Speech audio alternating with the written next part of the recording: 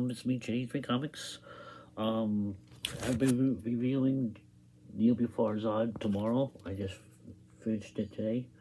Um, I highly recommend this series a lot. Like I said, I'll be reviewing it sometime tomorrow. Um, I just finished reading it today. I highly recommend this series. Um, General Zod, he's cool. I really like his character a lot. Um, artwork in here is phenomenal. It's by um, Casey. So, but um, I highly recommend this series. This is an A plus series. Um, I just read this issue before work. This is issue number six. I will be reviewing this sometime tomorrow.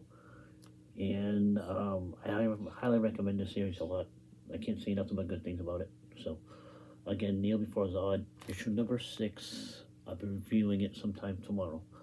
So, um, but uh, yeah, I just finished reading this today. I go back to work today. Yay.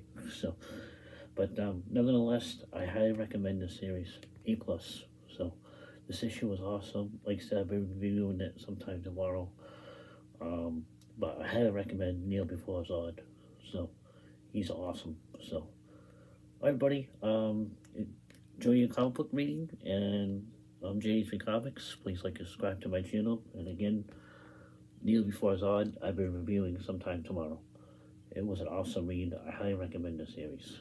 A plus. Everybody, um, have a wonderful day, and I will see you next time, probably sometime tomorrow. And uh, enjoy your comic books, everybody. Bye.